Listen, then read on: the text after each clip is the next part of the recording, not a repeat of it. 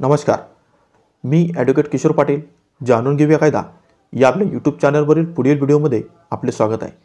मित्रांनो आजच्या व्हिडिओमध्ये आपण अनुकंप तत्वात जर नोकरी लागलेली असेल आणि तुमचं नाव जर प्रतीक्षा सूचीमध्ये समाविष्ट केलं असेल तर ते नाव एकदा का समाविष्ट झालं की ते कुठल्याही परिस्थितीत बदलता येत नाही. कारण या संदर्भात महाराष्ट्र शासनाचं एक शासन परिपत्रक वीस मे दोन हजार पंधरा रोजी जारी झालेलं आहे. आणि त्यानुसार प्रतीक्षा सूचीतील उमेदवाराचे नाव हे तुम्हाला कोणत्याही परिस्थितीत बदलता येत नाही. परंतु आजच्या व्हिडिओमध्ये आपण जर तुम्हाला प्रतीक्षा ते नाव बदलायचं असेल तर ते नाव कशा बदल म्हणजे कशा स्वरूपात ते बदलता येऊ शकतं कोणत्या परिस्थितीत ते बदलता येऊ शकतं आणि या संदर्भात मॅटने दिलेला जो काही महत्त्वपूर्ण निर्णय आहे याबाबत देखील फार उपयुक्त अशी माहिती आपण या व्हिडिओतून घेणार आहोत. मित्रांनो व्हिडिओला सुरुवात करण्या अगोदर तुम्ही जर आजपर्यंत आपलं चॅनल सबस्क्राईब केलं नसेल किंवा तुम्ही जर आज पहिल्यांदा आपल्या चॅनलला भेट दिली असाल तर ते चॅनल आज रोजी लगेच सबस्क्राईब करा. जेणेकरून मी देत असलेली कोणतीही नवनवीन अपडेट ही तुम्हाला वेळोवेळी मिळत राहील. मित्रांनो एखादा शासकीय कर्मचारी ह्या दिवंगत झाल्यानंतर किंवा मयत झाल्यानंतर त्याच्या पात्र वारसांना किंवा कुटुंबांना अनुकंप तत्वाची नोकरी ही शासनाकडून प्रदान केली जात असते. परंतु ती नोकरी प्रदान केल्यानंतर त्या व्यक्तीचं नाव हे प्रत्यक्ष सूचीत समाविष्ट होतं आणि प्रत्यक्ष सूचीमध्ये नाव समाविष्ट झाल्यानंतर त्याला जवळपास पाच वर्ष दहा वर्ष सात वर्ष एवढा का कालावधी देखील लागू शकतो. परंतु काही वेळेस अशी परिस्थिती निर्माण होत असते की अचानक त्या व्यक्तीचं जर काही निधन झालं किंवा त्या व्यक्तीचं जर वय पूर्ण झालं तर अशा परिस्थितीत तुम्हाला त्या व्यक्तीचं नाव हे बदलता येऊ शकतं. कारण वीस मे दोन हजार पंधराचा जर शासन निर्णयाचा आपण विचार केला तर असं दिसून येतं की त्या शासन निर्णयानुसार प्रतीक्षा सूचीतील उमेदवाराचे नाव हे कोणत्याही परिस्थितीत बदलता येत नाही. किंवा तसा कायद्यामध्ये तशी कुठल्याही स्वरूपाची तरतूद ही कायद्यामध्ये देखील आढळून येत नाही. परंतु महाराष्ट्र ॲडमिनिस्ट्रेटिव्ह ट्रिब्युनल ज्याला आपण मॅट देखील म्हणतो तर या मॅटचा सन दोन हजार बावीसमध्ये एक नुकताच झालेला महत्त्वपूर्ण निर्णय आहे. या निर्णयानुसार प्रतीक्षा सूचीतील उमेदवाराचे नाव हे तुम्हाला बदलता येऊ शकतं. तर मित्रांनो तो निर्णयामध्ये काय होतं? त्याची परिस्थिती काय होती? हे देखील आपण समजून घेणं महत्त्वाचं आहे. तर मित्रांनो या प्रकरणात झालं असं की एक कॉन्स्टेबल होते. ते कॉन्स्टेबल दिवंगत झाले मयत झाले. आणि ते मयत झाल्यानंतर त्यातनं त्यांच्या पत्नीचं नाव हे अनुकंप यादीत समाविष्ट करण्यात आलं प्रतिष्ठा सूचीमध्ये. परंतु काळ एवढा लोटला गेला की त्याच्यामध्ये त्यांच्या पत्नीचं वय हे पंचेचाळीस वर्ष झालं. आणि त्या कारणामुळे त्यांना ती नोकरी करता येत नव्हती. म्हणून अशा परिस्थितीत त्यांनी संबंधित डिपार्टमेंटकडे प्रतीक्षा सूचीतील उमेदवाराचे नाव बदलण्यासाठी एक विनंती अर्ज त्या संबंधित डिपार्टमेंटकडे सादर केला. तो अर्ज सादर केल्यानंतर त्यांनी तो अर्ज निकाली काढला. तो अर्ज त्यांनी वीस मे दोन हजार पंधराच्या शासन निर्णयानुसार निकाली काढला. की एकदा का प्रतीक्षा सूचीतील उमेदवाराचे नाव हे समाविष्ट झालं तर ते वीस मे दोन हजार पंधराच्या शासन निर्णयानुसार त्याच्यामध्ये बदल करता येत नाही सुधारणा करता येत नाही किंवा नाव हे बदलता येत नाही. असं म्हणून त्यांनी तो अर्ज निकाली काढला.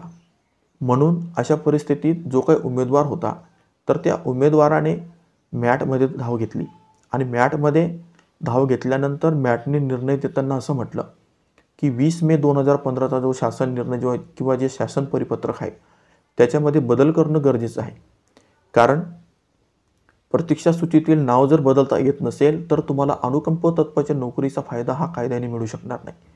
ज्या अर्थी शासनाने अशा स्वरूपाची योजना ही सुरू केलेली आहे त्या अर्थी तुम्हाला त्या व्यक्तीला तशा स्वरूपाचा लाभ देणं ही कायदेशीर जबाबदारी आहे. म्हणून पंचेचाळीस वर्ष झाल्यामुळे त्या अर्जदाराला अनुकंप तत्वाची नोकरी लागू शकत नाही. म्हणून तिच्या जागेवर तिच्या मुलाचं नाव हे प्रतीक्षा सूचीतील यादीत समाविष्ट करण्यात यावं अशा स्वरूपाचा निर्णय देखील मॅटने या प्रकरणात दिला.